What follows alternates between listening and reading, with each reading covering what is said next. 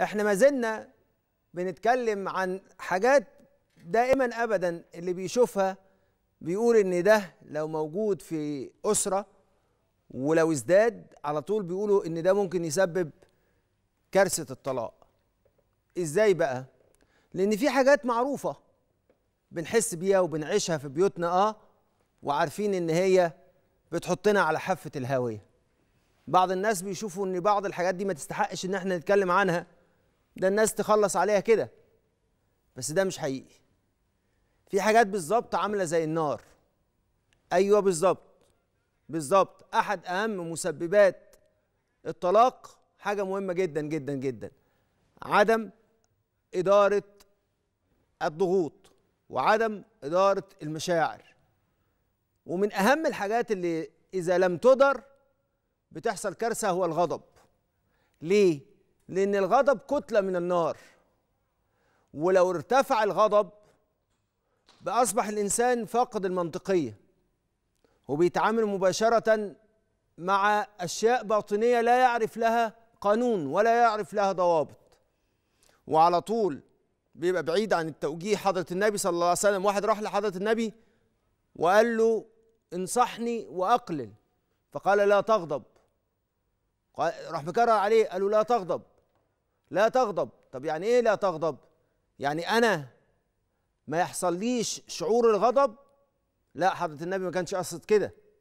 حضرة النبي كان قصده إن أنت لا تتبع نفسك هواها ولا تسير خلف الغضب فإن للنفس الأمارة بالسوء خطوات كما للشيطان خطوات. ومن خطوات الش... النفس الأمارة بالسوء التي تضيع الإنسان وتضلله الغضب. لكن مش معنى كده إن حضرة النبي بيقول إن الانسان ما يغضبش يعني ما يجيلوش الشعور لأن من من استغضب فلم يغضب فهو كالحمار زي ما بيقول الإمام الشافعي. لكن جزء من إدارة الضغوط إدارة الغضب. أنا بحب هذه هذا الترابط إن أنا أربط ما بين إدارة الضغوط وأربط ما بين إدارة المشاعر وعلى رأس إدارة المشاعر إدارة الغضب. فلازم نتربى لازم نتربى على إدارة الغضب. وفي فرق كبير ما بين الغضب اللي هو الشعور والغضب اللي هو حالة. ففي الحالة بيفقد الإنسان سيطرته خلاص. ومش بيكون مش بتكون المسألة تحت تحت سلطان العقل. ومش بيبقى الشعور هو اللي بيبقى هو الشعور هو اللي مسيطر هو اللي بيسوق وساعتها إيه اللي حاصل؟ ما بيبقاش يقدر الإنسان يكون تحت سلطان بل الإنسان على نفسه بصيرة لأن ساعتها بتتعمل بصيرة. والمشكلة اللي عندنا واللي بتحصل بسبب بسيط وهو مثلا إن الزوجة تستخدم حاجة كده أنا مصطلح أنا بسميه السلك العريان. إيه السلك العريان ده؟ تروح الزوجة وتمسك الكلمات اللي بتخلي زوجها يشتاط غضبا أو الزوج يعمل نفس الحكاية. فمثلا هو مش بيحب أو ما بيحبش إن حد يفهمه إن هو مقصر. فأول ما هي بتيجي, وتتكلم بالكلمات اللي تشعره بأنه مقصر يشتاط غضبا. لما تقول له أنت عملت إيه يعني؟ عشان تحل لنا مشكلتنا. فبيلاقي الدنيا كلها اسودت في وشه. والدنيا بقت ضلمة. ويتح... ويحصل إن هو تحول. تحول من إنسان عنده ضوابط ومعايير إلى إنسان بغير ضوابط ومعايير لأن خلاص الغضب هو اللي بيلقنه كيف يفعل. الغضب فيه ملفين أساسيين لازم نعرفهم. الملفين دول هم اللي بيشعلوا الغضب هم دول فتيل الغضب. ملف المهانة إنه يشعر إن هو إتهان فلازم يدافع عن نفسه ويستخدم العصبية وال self defense عشان يدافع عن نفسه. فيتحول الغضب لعصبية وقد يصل به الحال من عنف لفظي لغاية ما يوصل إلى عنف في الأفكار لغاية ما يوصل إلى عنف جسدي وعنف بالإيد. وهنا بتبقى المسألة خلاص خرجت عن السيطرة. الملف الثاني شعور الإنسان بأنه عنده أحقية في الغضب. هو أنا مش بني آدم يعني؟ ما أنا من حق إن أنا أغضب. لما حد يدوس على كرامتي آه ونمسك في في كلمة كرامتي دي. لأن كرامتي كلمة كرامتي دي هي الكلمة اللي بتمسكها النفس الأمارة بالسوء عشان تغوي الإنسان وتخليه يستمر في الغضب. لأن لأن الله سبحانه وتعالى يقول ونفس وما سواها فألهمها فجورها وتقواها قد أفلح من زكاها وقد خاب من دساها. اللي بيسيب النفس تلعب بمفهوم الكرامة هو في الحقيقة النفس بتخلي الإنسان تحت سيطرتها بمفهوم الكرامة. فأنا من حقي إن أنا أغضب. يبقى عندنا حاجتين. جمرتين بتشتعل. الجمرة الأولى أنا اتهنت الجمرة الثانية أنا من حقي إن أنا أغضب. من حق أن أنا اغضب لأن أنا بني آدم. مش معقولة يعني تؤذوني وتمنعوني من الغضب. حضرة النبي صلى الله عليه وسلم ما خلاش كل واحد بيتأذي لازم ينفذ غضبه. ممكن تغضب في داخلك ولكن إيه اللي حاصل؟ ليس القوي بالصرعة ولكن القوي من يملك نفسه عند الغضب. أقول لكم حاجة أكتر حاجة بشوفها في الغضب وفي عدم ضبط وعدم إدارة المشاعر ما بين الزوجين إن الزوج لما يغضب والزوجة لما تغضب تشوف عدو تشوف شيطان تشوف إنسان بيكسرها بتشوف إنسان بيجرحها بيشوف واحدة عايزة تحسسه إن هو ولا حاجة. وعشان كده الغضب أحيانا بيكون محاولة لإخفاء قلق أو حيرة أو تشتت. ففي الغالب الغضب اللي بيتحول لعصبية وعنف هو دفاع عن النفس. واحد بيدافع عن نفسه تجاه خطر خايف يتمادى في التعامل معاه. ومن مشعلات الغضب حاجة كده أنا بسميها الكلمات الإغضابية. واحد عارف إن الكلمات دي بتغضب زوجه. تقول له أمك هو يقول لها أهلك هي ويقول لها ابوكي وتقول له أخوك. فالكلمات تشتعل. إحنا عارفين إن الكلمات كل واحد فينا بيبقى عارف كلمات اللي بتشعل شريك حياته. وهنا بنقع بقى في حاجة حاجة مهمة جدا. إيه هي؟ إن في الحقيقة حضرة النبي قال له لا تكن عونا للشيطان على أخيك ولا تكن عونا لنفسه عليه. ومن مشعلات الغضب كمان واللي بتخلي المشاعر مش تحت الإدارة ولا تحت السيطرة العناد. وهي من أهم الأشياء اللي بتتعمل في بيئة الغضب فتخلي الغضب لا يمكن السيطرة عليه. عايز تخلي الغضب يخرج من تحت السيطرة شغل العناد لأن العناد ساعتها بيبقى الغضب مش من ناحية واحدة بالعدد من ناحيتين. والإنسان الغضبان لما يتقابل بالعناد بيحس إن الشخص اللي قدامه عايز يحرقه بالغضب ده. وح... ولابد إن إحنا نعرف إن العناد في الحقيقة ده شعور انتقامي مش شعور حقيقي. ولذلك وخاصة بيظهر قوي إن هو شعور انتقامي لما يبقى العناد متبادل. أيوه إحنا بنتكلم علينا. إحنا بنتكلم عن الحقيقة. بنتكلم تحت ظل قوله تعالى بل الإنسان على نفسه بصيرة. الإنسان يعني إحنا كلنا لازم نتكلم في مشاكلنا في بيوتنا. لكن إحنا وبنعالج الغضب لازم نتأكد إن الشخص الغضبان ما عندوش حساسية مفرطة. لأن الحساسية في أكثر البيئات ممكن تخلي الغضب موجود طول الوقت. لأن الشخص الحساس اللي عنده حساسية مفرطة عنده تفسيرات مختلفة للكلمات وعارف اللي جواك حتى لو أنت ما اتكلمتش. في الغالب على فكرة اوعى تفتكروا ان الستات بس هم اللي حساسية عندهم حساسية مفرطة الرجالة كمان عندهم حساسية مفرطة كذلك. والشخص اللي هو عنده حساسية دايما بيعرف اللي ممكن انت تتمادى فيه وتوصل إليه.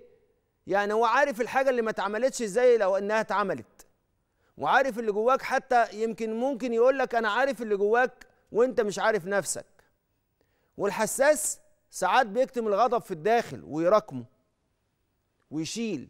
حضرة النبي صلى الله عليه وسلم علمنا لا تحدثوني عن أصحابي فإني أريد أن ألقاهم سليم الصدر. آه الغضب والتراكمات دي تعمل سواد في القلوب وما تخليش الواحد سليم الصدر. والتراكم ده أخطر الأشياء وأخطر تبعات الغضب. أنما بقى إذا حبينا نتعامل مع الغضب وندير الغضب وندير مشاعرنا في طرق كتيرة. إحنا نذكر بعض الطرق وبعد كده نذكر لها بعض الإجراءات. من أهم الطرق اللي بنعالج بيها الغضب التأجيل اللي أنا بسميه التأجيل الوافي تأجيل الأوفياء. إن الشخص يأجل الكلام لو في غضب نأجل الكلام. بس نأجل الكلام في الموضوع ده لوقت تاني وأوفي بيه. طب إحنا ممكن نتكلم بعد ساعتين وأجي بعد ساعتين وأتكلم.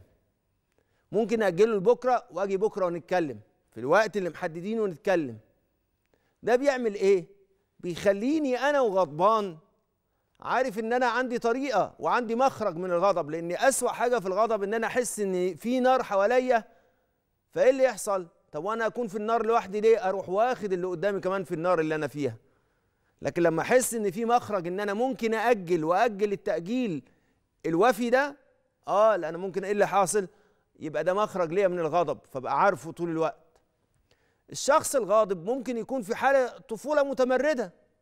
إيه طفولة متمردة؟ أنا سمعت عنها آه ما إحنا عندنا شرايط كده في الإنسان. الانسان فيه عنده شريطين للوالدية كده الوالدية الراعية والوالدية الانتقادية. الوالديه الانتقادية بتاعت أنت عمرك ما بتعمل حاجة كويسة ابدا. والوالدية الراعية البس تقيل أنت ونازل. بلاش تلبس النهارده حر بلاش تلبس الحاجات التقيلة النهارده. النهارده حر. اللي هي الوالدية اللي هي السلطة بس حنية دي السلطة الوالدية الوالدية الراعية. طب ولو الانتقاد ده يبقى دي والدية إيه؟ والدية انتقادية. وفي عندنا شريط البالغ وبعدين عندنا ثلاث شرايط. الطفولة المتمردة والطفولة المزعنة والطفولة الطبيعية. الشخص الغاضب ممكن يكون غاضب لأنه عنده طفولة متمردة وفي حالة هياج. فمش بيفكر بشكل منطقي. ومن علامات الرجولة اللي الست بتشوفها في زوجها سرعة الترضية. يعني إيه؟ إن هو يقدر يتفادى غضبه ويعمل إيه؟ يسارع في ترضيتها. فلو بيرضيها بسرعة يبقى راجل حقيقي. وفي نظرها لو إنه هو استمر على كده هو هيملك قلبها. لكن لو سابها وما رضاهاش بتكون مشكلة كبيرة.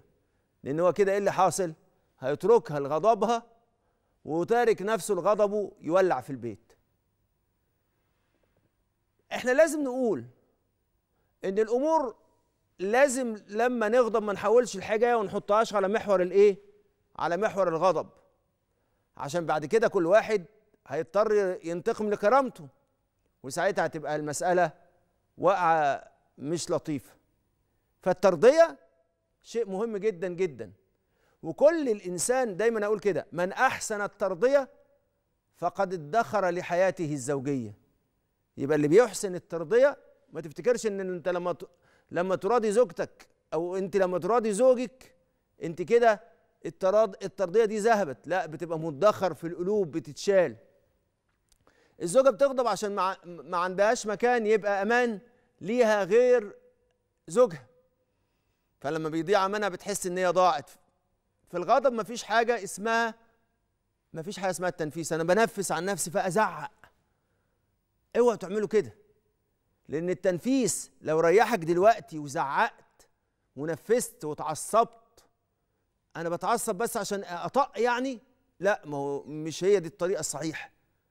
أنت لو كنت عايز ما تنفس لكن اعمل إيه؟ حول هذا الغضب إلى فرصة تستطيع من خلالها إن أنت تثبت إن أنت أقوى من الغضب. وهو ده اللي حضرة النبي قال لنا ليس القوي بالصرع ولكن القوي من يملك نفسه عند الغضب. يبقى الغضب لما يجي فرصة. يلا يا جماعة فرصة عشان نأكد إن إحنا عندنا ثقة بنفسنا عندنا قوة عندنا قدرة على الإرادة. ولو الزوجه كلمت أهل زوجها ساعة الغضب بتخليه يحس بالإهانة. فلازم ما تكلموش ساعة الغضب ما تكلمش أهله ساعة الغضب. وهو لو كلم اعلاها هي بتحس إن مفيش خطوط تواصل بينها وبينه. خلاص. والكلام بقى مع الأهل خلاص.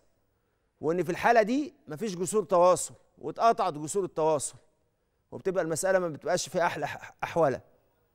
دايما بنقول الناس ما تبنيش على الماضي وحل مشكلتك دلوقتي.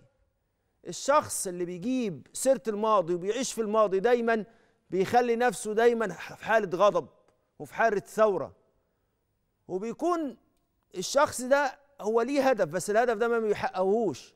هو كل ما بيتكلم عن الغضب كل ما بيتكلم عن الماضي هو طالب من شريك حياته الاهتمام والتقدير.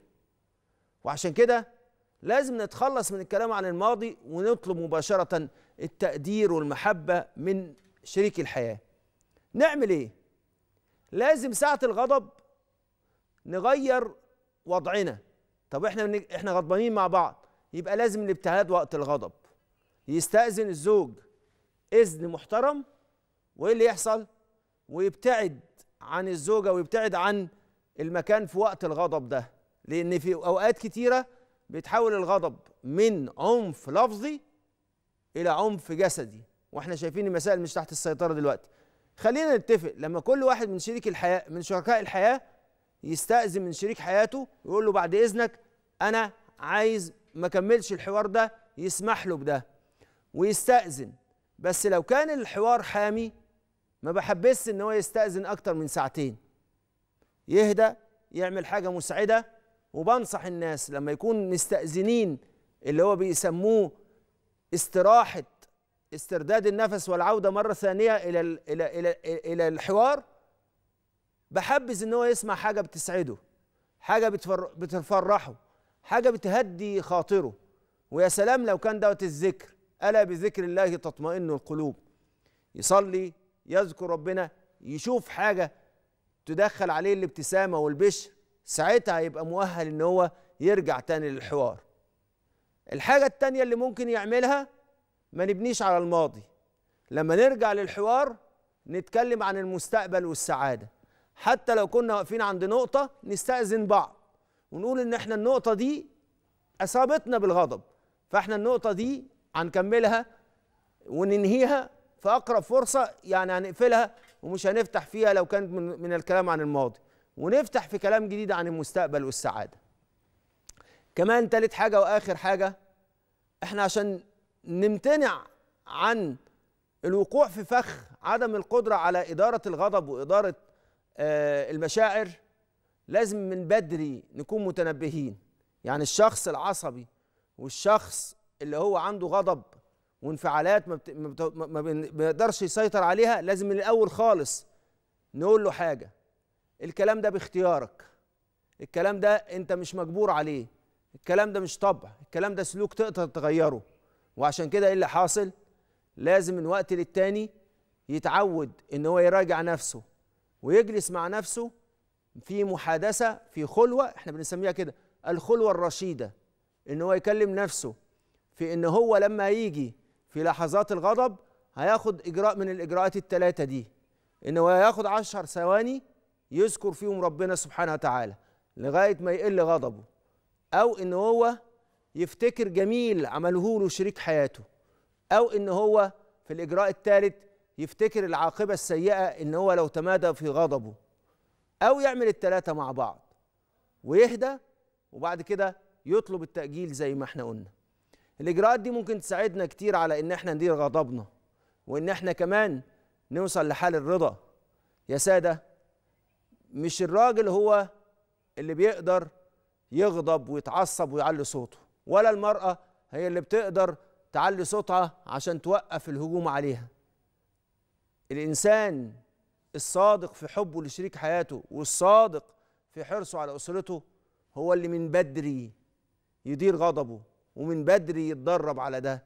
إدارة المشاعر وإدارة الغضب محتاجة تدريب ومحتاجة كمان الاتكال على الحبيب الأجل سبحانه وتعالى.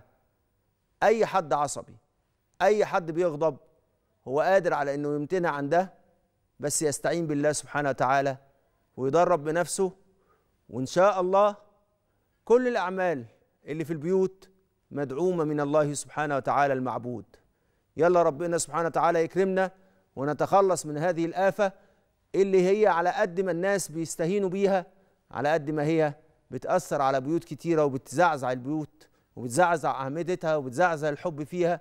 يا رب أعنا على إن إحنا نكون في مددك وفي رحمتك لأن فعلا إدارة الغضب والمشاعر هي من أعظم أبواب الرحمة.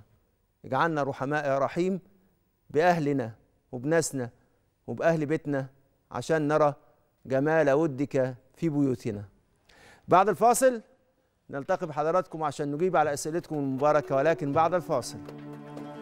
رجعنا لحضراتكم ومعانا صفحتنا على الفيسبوك صفحة برنامج ولا تعسروا اللي بنتلقى عليها أسئلتكم ونخصص لها وقت عشان نجاوب عليها كمان وبنتلقى عليه عليها تعليقاتكم واقتراحاتكم اللي بتخلينا دايما عايشين في بركاته في أنوار مجالس العلم. أول سؤال معانا أستاذة أم محمد من القاهرة. ألو السلام عليكم. عليكم السلام ورحمة الله وبركاته اتفضلي. إزيك يا شيخ عمرو؟ أنا سعيدة قوي إن أنا بكلم حضرتك. الله يرضى عنك فيك. عندي حاجتين أرجو إن حضرتك تسمعني فيهم. يعني أنا اتفضلي. كنت موظفة وكانت طبيعة شغلنا إن إحنا يعني كان بيجي لنا حاجات مثلا ب- ب- بأشكال معينة إحنا كنا بنعدلها إحنا بمزاجنا وبنعمل الشغل أحسن ما كان بيجي لنا.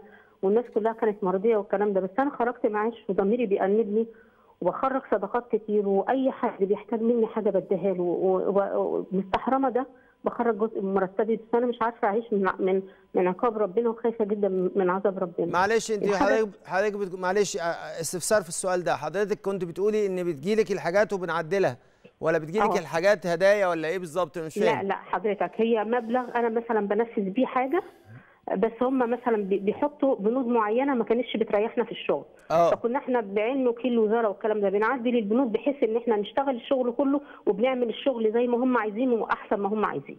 وفلوس وبتوفروا في فلوس والفلوس بتروح لكم ولا إيه؟ لا من ب... ما بنوفرش. إحنا بناخد برضو ال- المكافآت بتاعتنا وبندي الناس اللي هو اللي هم اللي هم ما كانوش بيكتبوا أسمائهم. بنديهم ال- الحاجات بنديهم مكافآت وبنجيب الحاجة زي ما هم بيقولوا. يعني مثلا لو كانوا عايزين مثلا نجيب أكل بكذا بنجيب الأكل بكذا وبأحسن وبالناس آه، كويسة والكلام ده. أنا مستحرمة ان إن أنا مثلا ممكن أكون خدت حاجة أو اديت حاجة باسمي لحد ما يستحقهاش. فأنا يعني أنت دلوقتي معلش يا أستاذ- معلش يا ام محمد. يعني في. كنت في بعض الأحيين تكتبي اسم مكان اسمك؟ لا. لا حضرتك ب- ببدل المشروع كله بحط بنود آه، تريح الكل. أنا فهمت كده خلاص. إيه السؤال الثاني آه، الحاجة التانية حضرتك إن أنا عندي ابني آه، ابني الوحيد. أنا يعني من فترة منفصلة من باباه بس إحنا انفصلنا باحترام جدا والكلام لكن هو ما فيش علاقة بينه وبين باباه. فالموضوع ده أثر عليه أما وصل لمرحلة ثانوي مع إنه متعلم في لغات والكلام ده. اتعرف على شلة أصحاب يعني علموه كل حاجة علموه كل حاجة حضرتك وحاولت إن أنا أدخل بابا أكتر من مرة. بابا يعني ما كانش آه، يعني بيستجيب ما أعرفش إيه السبب. يعني أنا حاولت لحد النهارده بحاول إن أنا أدخله في حياته لدرجة إن أصحابه دول عرضوه في وقت من الأوقات إن هو يدخل الحب الحبس. هل هل هل ام محمد إن شوية في في شوية آه، آه، شوية وسوسه عندك ولا لأ؟ وسوسة. آه. أنا؟ آه ده سؤال. آه. طيب. آه أنا عايزة أقول لحضرتك على حاجة. هجاوب- أنا هجاوب أنا مش حضرتك. عارف هقول لحضرتك حاجة تانية. الحاجة التانية إن أنا لما ابني خرج وديته مصحة عشان اعدل سلوكه. آه، أنا مش عارفة أعمل معاه إيه أنا بطلب من ربنا أنا مش طالبة من ربنا يا شيخ عمرو غير إنه يغفر لي إذا كنت في حد عايز مني حاجة يسامحني وأنا بحاول أخرج صدقاته أي حد بيطلب مني حاجة لو همشي له بلاد بعملها وما بطلبش من أي حد طيب معلش يا. أم محمد عشان نتأكد بس الجزء الأولاني ده أنتوا كان بيجي لكم المشروع فيه بنود معينة فكنتوا بتنفذوا آه. المشروع ببنود أقل أو آه، بنود آه. متغيرة متغيره بشكل تاني بس كنتوا بتنفذوا المشروع بشكل صحيح وكان بالظبط. مديرك وكان مديرك موافق على ده لأن ده في. مصلحة الشغل صح كده بالظبط أيوه بالظبط كده. شكرا أنا هجاوب على حضرتك يا ام محمد بص يا سيدي أصل السؤال ده كان مهم جدا عشان الناس إحنا طول الوقت كل أي حاجة فيها أي شكل من أشكال الفساد فهي حرام لأن الفساد دوت والعياذ بالله ظلم وفي إهدار للمال العام وفي تعدي على أموال على أموال الناس ولذلك الفساد ده إحنا بنواجهه وبنقاومه في كل حاجة. لكن في حاجة اسمها التصرف حسب حسب السلطة المخولة.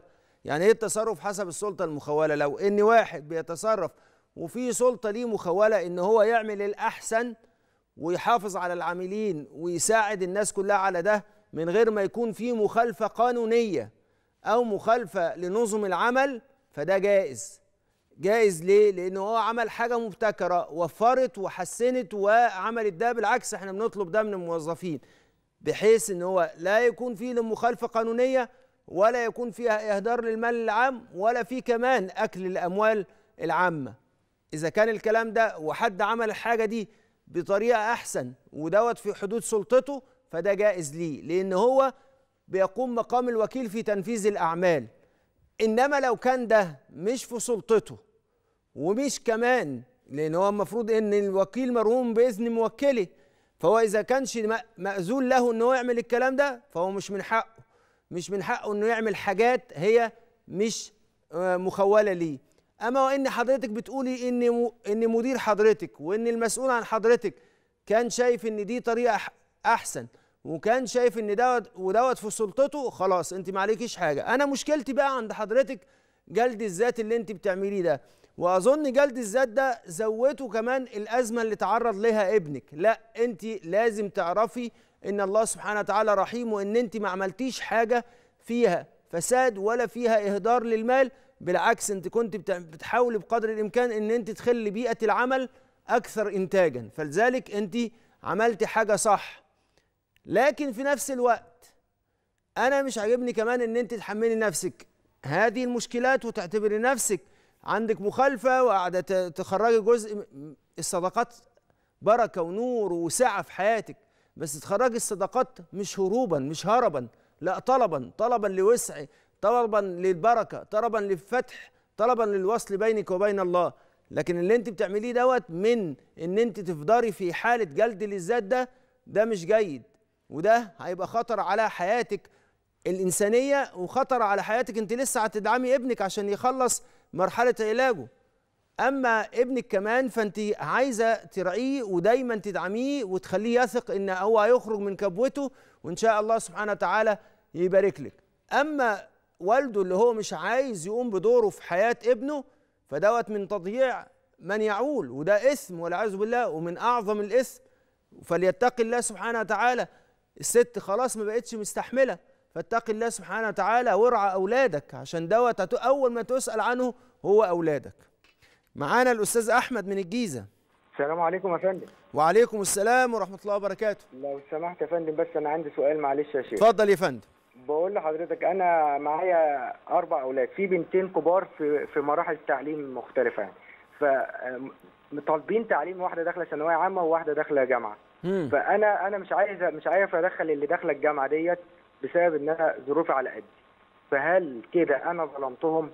أنا بشتغل ما بقصرش واشتغلت شغلانة واتنين وبتاع بس الدخل على المعيشة والبتاع ومش مش قادر إن أنا أدخلهم. فهم زعلانين إن هم عايزين وأنا والدروس والحاجات قطمه وسط فأنا حاسس إن أنا ظالمهم. بس مش عارف أنا أنا مش مقصر في حاجة. فعايز أعرف أنا كده ليه؟ عليا ذنب. ولا؟ هما اللي في الجامعة قلت لها لا خدي ال- ال- الثانوية العامة واقعدي مش قادر ادخلها فأنا كده ظلمتهم طيب أنا بقول أقول لحضرتك حاجة. ما دام أنت مش قادر على ده أنت كده مش قاسم. لكن أنا بناشد كل الناس اللي تقدر تساعد حضرتك إن هي تساعد حضرتك في إنك أنت تكمل تعليم أولادك وخاصة البنات.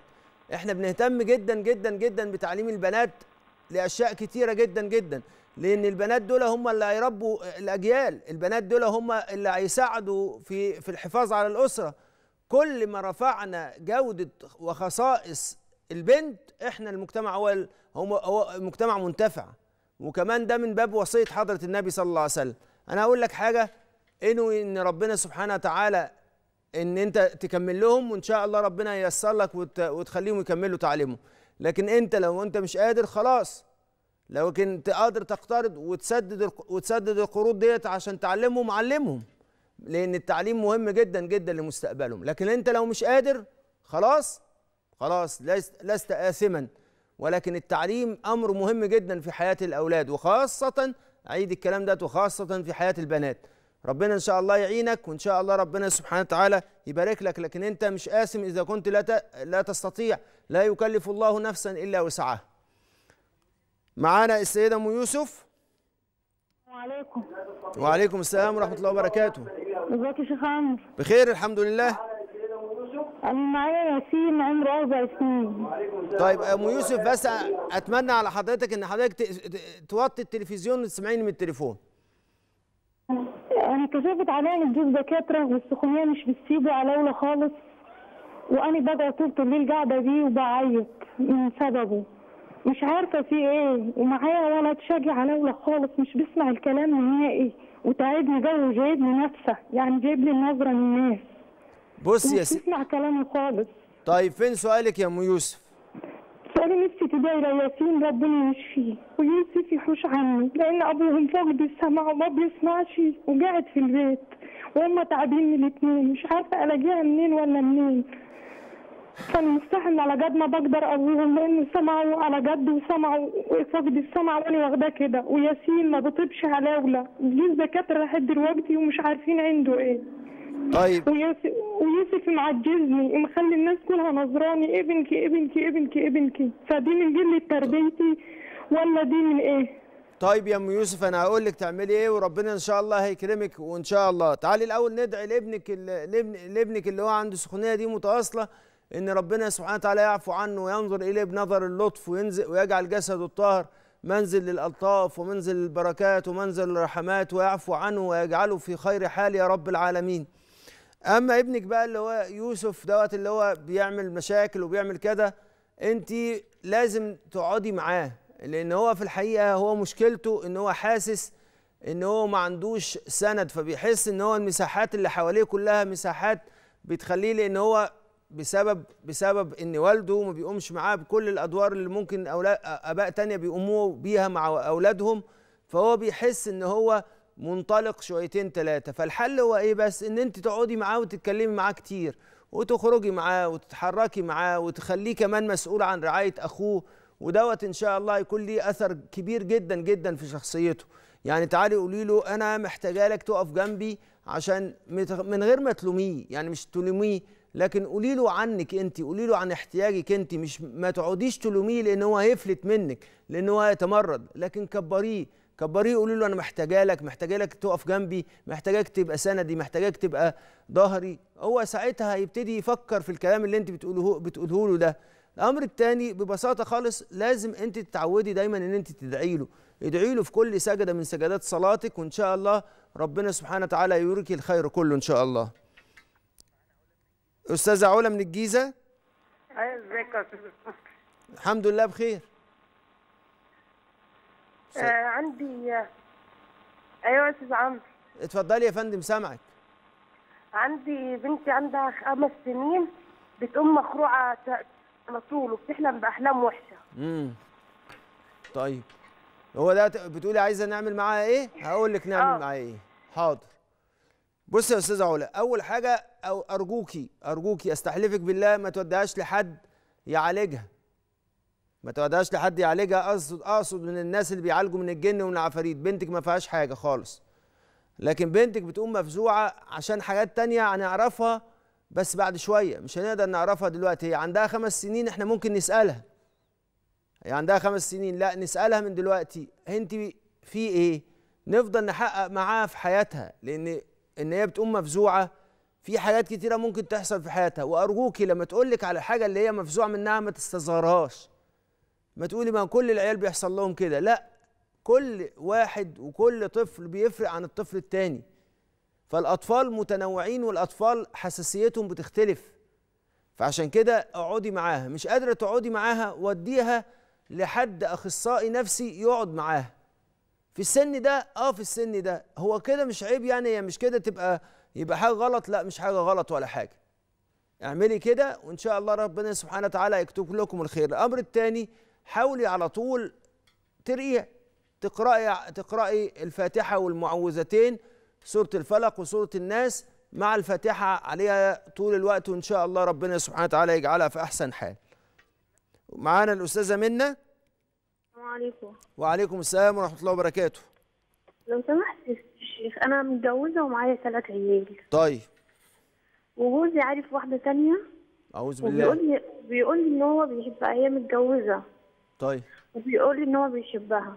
طيب. هو كده رامي عليا اليمين بقاله بقاله كده أكتر من شهر أقل من شهر. امم هو بي... هو بقى مش. ولا عايز يردني ولا عايز يسيبني وأنا معايا ثلاث عيال وأنا مش عارفة أعمل إيه. طيب. أقول لك أقول لك أقول أكلمك على الأمرين. اولا إن هو ي- إن هو بيحب واحدة متجوزة وهيروح وهيروح يلاغيها ويكلمها. أنا آسف يعني في التعبير. ويحاول يلف عليها. فدوت حضرة النبي صلى الله عليه وسلم حذر منه لأن ده بيستجلب لصاحبه اللعن. يعني لو واحد خبب امرأة على زوجها ده بيبقى ملعون. يعني إيه خبب امرأة على زوجها؟ يعني خلاها تكره جوزها وتتطلق منه ده ملعون ولذلك أنا بقول لزوج حضرتك اتقي الله سبحانه وتعالى. الحاجة التانية والبسيطة والسهلة إن هو تعملي أنت إيه؟ مع زوجك ده لازم يبقى في زي ما بيقولوا كده قعدة كبار. اللي أشار إليها القرآن بإن إحنا نبعث حكما من أهله وحكما من اهلها نخليهم يقعدوا يشوفوا المسألة دي إيه؟ إذا كان الكبار عارفين إن هو على علاقة بالست دي الكبار مش عارفين يبقى أنت تقعدي معاه وتقولي له إحنا عندنا أولاد وعندنا سمعة وإحنا وأنا وأنت زوجي وماليش غيرك. أنت كده. إحنا كده هنفسد الأسرة. المسألة مش أنت بس اللي بتعمل كده. لا ده إحنا عندنا حياتنا كلها وحياة أولادنا ومستقبلهم. فإحنا عايزين نتقي الله في أولادنا وعايزين نتقي الله سبحانه وتعالى عشان نحاجي على البيت ده. وبعدين انت راجل محترم وراجل عاقل ما تمشيش وراء أهوائك فتدمر مستقبلك ومستقبل أسرتك كلها. الكلام اللي زي ده كلام هيفتح الباب. نقعد بقى ونتكلم إزاي إحنا نغير حياتنا ولا بأس لو ان هو يرضى يتفضل عندنا في مركز الإرشاد الزواجي ونكلمه. ونكلمه إزاي ممكن يغير حياته وايه اللي إيه اللي بيخليه مش عايش في توافق ولا في رضا ولا في سعادة في حياته. عشان يفتح باب من أبواب الإقبال على الله سبحانه وتعالى وملي البيت بالمودة والرحمة. يا سادة إحنا اتكلمنا النهارده عن مسألة مهمة قوي وهي إدارة المشاعر وخاص- وخاصة إدارة الغضب. عارفين يا سادة الإنسان بعد ما بيضير غضبه وبيبقى عنده مهارة إزاي يقدر يمسك نفسه بيحس إن هو قريب من ربنا بيحس إن قلبه لأن بيحس إن هو عنده رحمة بيحس كمان إن الدنيا واسعة أي حد بيحس إن البيت بتاعه ملتهب ومليان غضب يحاول يكتر الرحمة في قلبه يحاول بقدر الإمكان إن هو يعمل الإجراءات اللي إحنا قلناها ويعرف إن هو مش لوحده يعرف إن هو ممدود من الله سبحانه وتعالى ويعرف إن الله سنده ويعرف إن حياته هتنشرح هينشرح فيها صدره وإن شاء الله ربنا سبحانه وتعالى هيبارك له لما يجبر خاطر مراته بإنه ما يغضبش وما يتعصبش وما يحرقش البيت. يا سادة الغضب والعصبية ما بتخليش واحد كبير لكن بتخلي النار في البيت تطير. يا رب جنبنا المكاره وجنبنا الغضب وجنبنا العصبية وأذقنا يا ربنا شهد الحكمة وأنوار البركة وأنوار العقل والمنطق حتى نستطيع أن نرى جمال عطاياك في بيوتنا ونعلم أن بيوتنا محل لنظر رحمتك ولطفك وكرمك. يا أكرم الأكرمين يا أرحم الراحمين يا رب العالمين.